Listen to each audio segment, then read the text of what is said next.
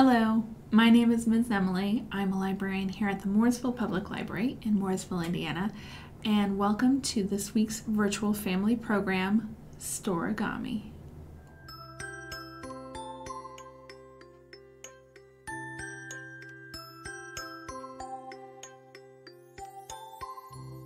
So this week we will be combining storytelling and origami, the art of paper folding, into Storigami.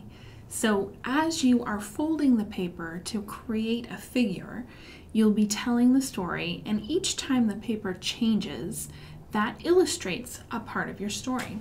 Now, I'd like to give all the credit to Rachel Katz. I found all of these stories and the instructions on how to do them on her website, Origami with Rachel Katz.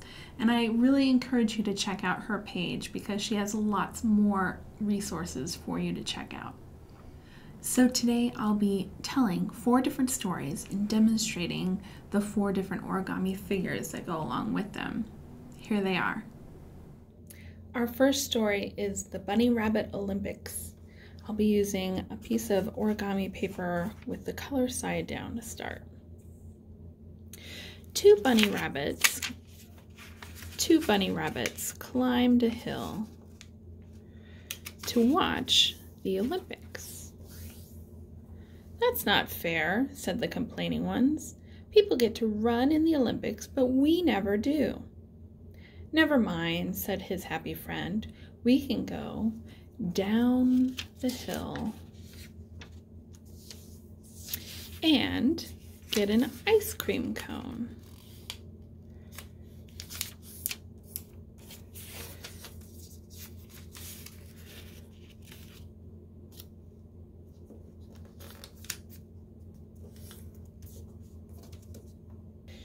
He was still complaining as he held his ice cream cone when a runner came by and knocked the ice cream cone over.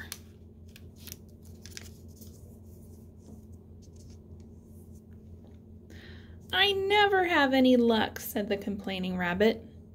Never mind, said his friend. I'll give you some of my ice cream.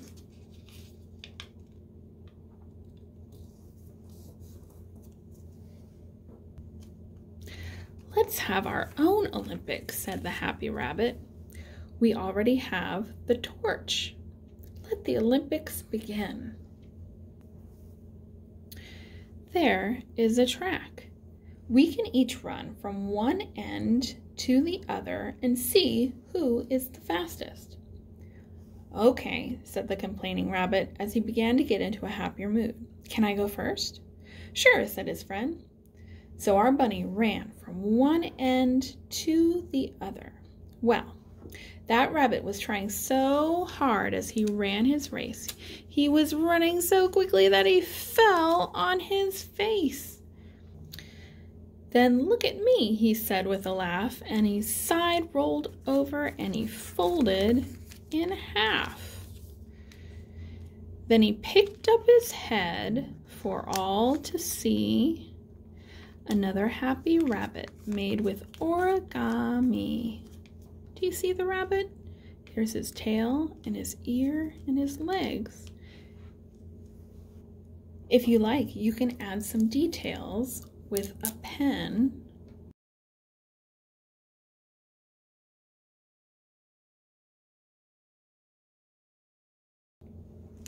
hip, hip, hip, hip. This is the story of the nodding bird. I'll be using a purple sheet of paper with the purple side starting up. I heard there was a very unusual bird that could nod its head up and down and even from side to side. It's known as the nodding bird, and the only place you can find it is near the Diamond Lake. I learned that the best time to find the bird was in the winter when the hills are covered with snow. So I started my quest by climbing a hill.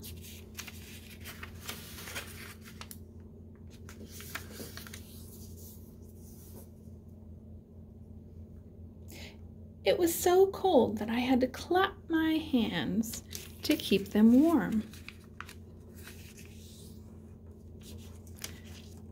Clap, clap.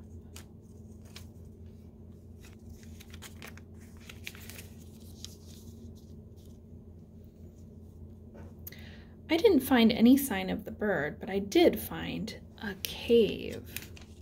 I was brave enough to explore the inside of the cave. Luckily, there were no bats at the top of the cave, but I came outside to find a baseball diamond right outside.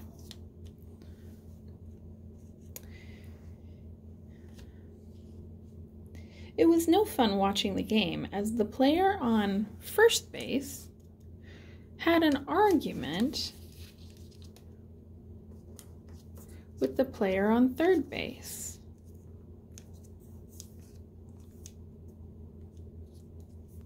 So, since I was at the lake, I decided to take out a boat and look for the nodding bird.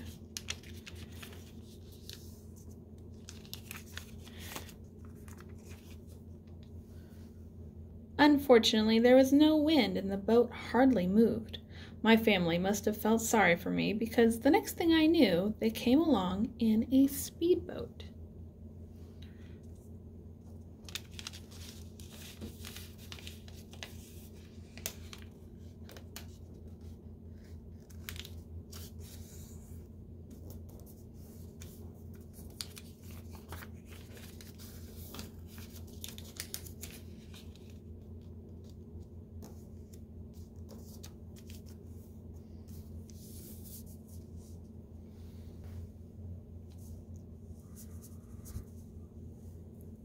The speedboat took me quickly away, where I was met by a giant bird.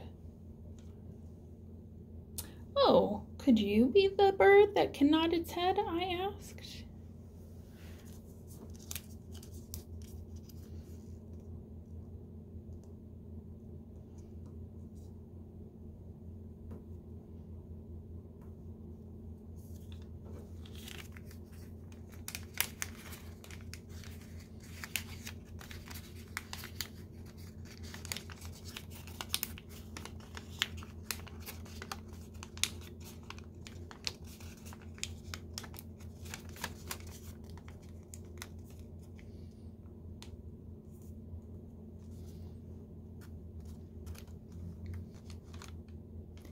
Yes, I could.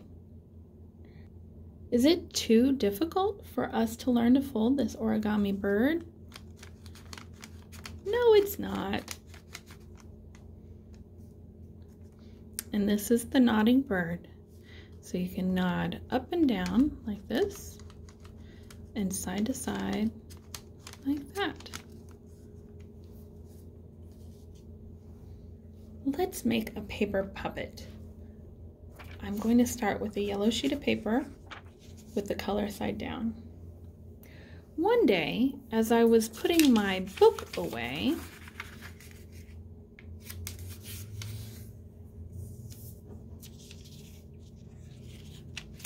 I went to my home and I started to play.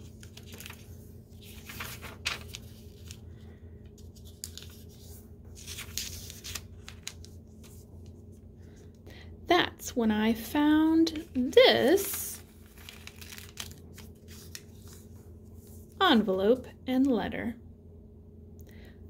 Fold me some more, it said. You can do better. I folded the top down.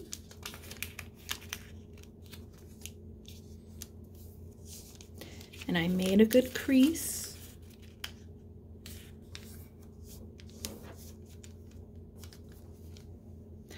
Open up. It's the origami police. Now fold it just halfway.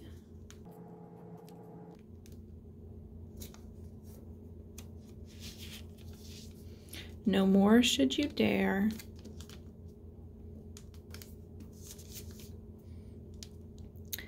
And the bottom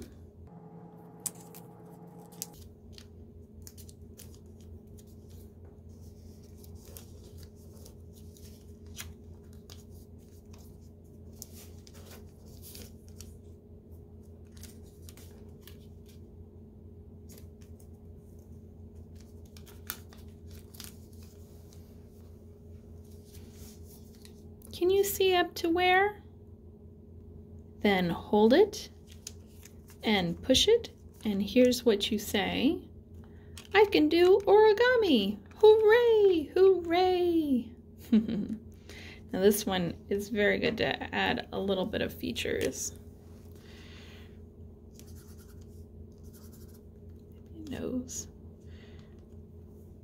Maybe some hair.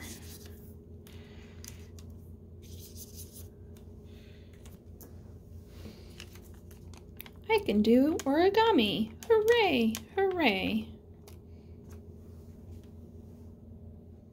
Our last story will be Penguin Pete.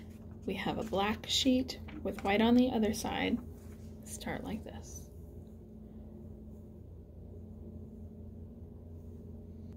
Pete lived on the hill and it was covered in snow.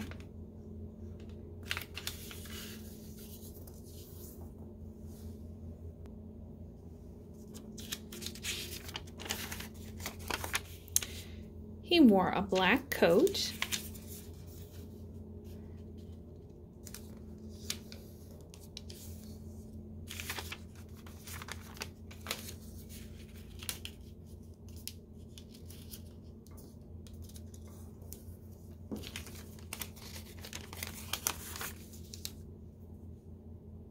and held his head low. He rolled over on his tummy and kicked snow with his feet.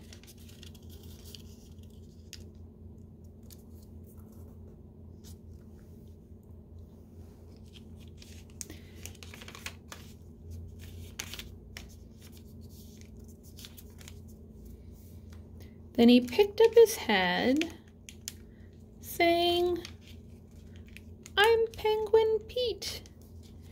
And this is another bird who can talk. I'm Penguin Pete. So if you stop by the library, you'll get a packet that has all of the instructions of how to do the stories um, step by step shows uh, illustrations. These come straight from rachel katz's website so you can also refer to them there as well as a packet of several origami sheets. We'll give you quite a few so if you need to practice you can do that uh, and then maybe present your stories to your family or your friends. If you enjoyed doing some origami today, stop by the library to check out some more books on it. We have lots of different ones that will help you extend your skills even more. So you can start with something like The Beginner's Guide to Origami. This is uh, by Nick Robinson. Easy Origami by Didier Boursin